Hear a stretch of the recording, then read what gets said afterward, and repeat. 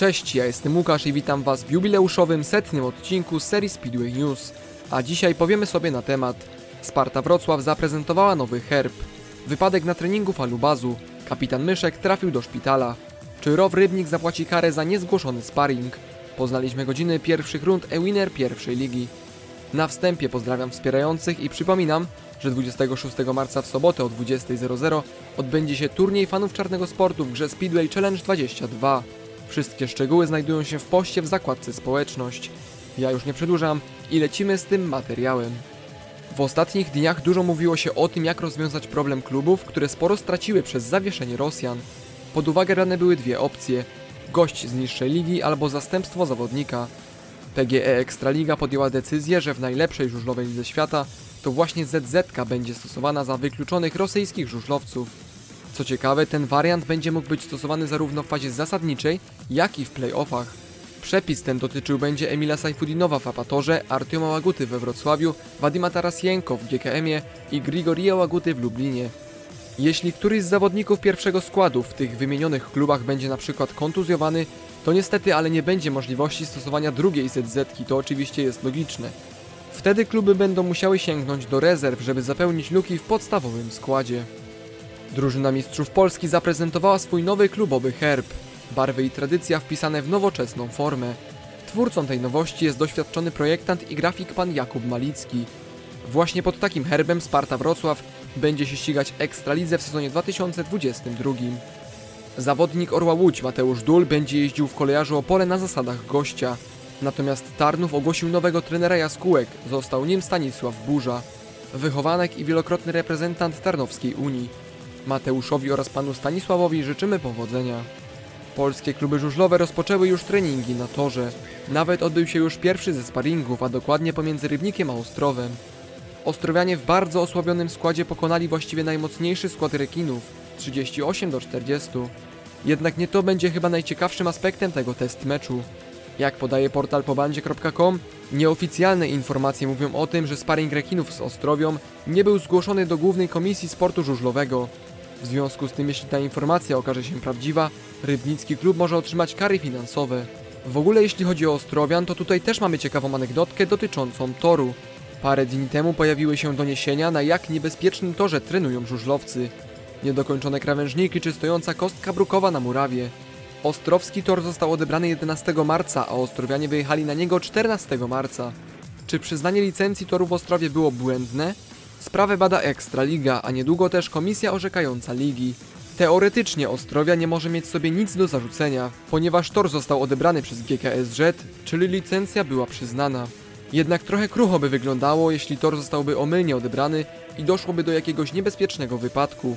A do takiego może dojść i na torze całkowicie odpowiadającym wymogom centrali. Tak jak na przykład na jednym z ostatnich treningów falubazu, podczas którego doszło do niebezpiecznego incydentu.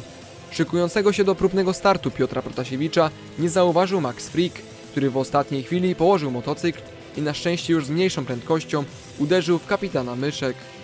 Okazało się to na tyle poważne, że Pepe nie wyjechał już na tor, a po treningu udał się do szpitala. Parę godzin później napłynęła dobra informacja.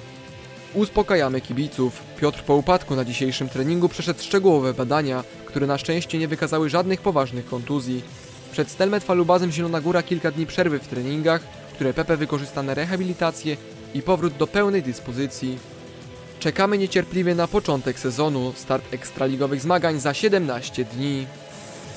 A teraz szybki news. Mistrzostwa Polski Par Klubowych, które będą jedną z pierwszych imprez w żużlowym kalendarzu, odbędą się na torze w Poznaniu. Start zawodów 3 kwietnia o godzinie 14.00.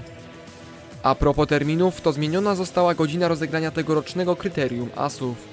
W związku z planowaną transmisją przez stację Kanal Plus, ściganie w Bydgoszczy rozpocznie się o godzinie 18.00.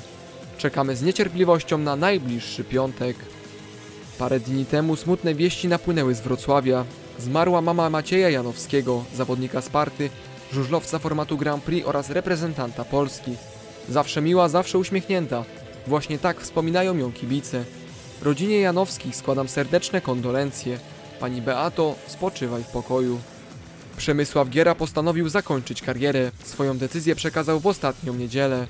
W życiu przychodzi taki moment, w którym trzeba sobie zadać pytanie, czy to co robimy ma jakiś sens. U mnie właśnie ten czas przyszedł. podjąłem decyzję o zakończeniu kariery żużlowej. Jest to dla mnie jedna z najtrudniejszych decyzji, jaką musiałem w swoim dotychczasowym życiu podjąć i bardzo ciężki moment w moim życiu, ponieważ bardzo dużo temu sportu poświęciłem, pisze Przemysław Giera. Row Rybnik tym samym traci ważnego zawodnika formacji juniorskiej. Swoją drogą sytuacja Rybniczan jest nie do pozazdroszczenia. Niedawno informacja o zawieszeniu Sergieja Łogaczowa, a teraz trochę niespodziewana decyzja Przemka Giery. Oczywiście Przemkowi życzymy powodzenia na żużlowej emeryturze. Bartosz Zmarzlik po raz kolejny pokazał, że jest skory do pomocy. Jego były trener i były zawodnik Stali Gorzów Bogusław Nowak marzył o nowym wózku elektrycznym. Jednak niestety możliwości finansowe przewyższały pana Bogusława. Wystartowała nawet zbiórka, by kibice mogli pomóc uzbierać kwotę. Jednak niespodziewanie w jakiś dzień do pana Bogusława zadzwonił dwukrotnie mistrz świata Bartosz Zmarzlik. Bartek zadzwonił do mnie w zeszłym tygodniu i powiedział, że czytał o zbiórce na wózek dla mnie. Spytał ile kosztuje taki sprzęt, a gdy usłyszał, że 25 tysięcy złotych, odpowiedział jedynie, że nie muszę już zbierać, bo on chciałby mi taki wózek kupić z własnych środków. Do dziś jestem wzruszony i strasznie się cieszę z takiego gestu. Co tutaj dużo dodawać, kolejny wielki gest polskiego mistrza. Poznaliśmy pierwsze cztery rundy Ewiner pierwszej ligi. Dokładne daty oraz godziny spotkań pokazują Wam się w tym momencie na ekranie. Jeśli chodzi o transmisję, to w tym roku Kanal Plus ma nam do zaoferowania dwa z czterech meczy w telewizji, a pozostałe dwa dostępne na Kanal Plus Online. Właściwie to terminy meczy pozostały takie same jak przed rokiem. Jedynie co się zmienia to to, że za niektóre z nich będziemy musieli dodatkowo dopłacić. Czy to słuszna decyzja? No na pewno opłacalna dla stacji, ale czy dla kibiców? Ja bym się głęboko zastanowił. A co wy sądzicie o tym temacie? Dajcie znać w komentarzu. Dziękuję za oglądanie tego materiału. Jeśli się spodobał, to zachęcam do subskrypcji kanału Czarny Sport i do następnego odcinka. Na razie, cześć!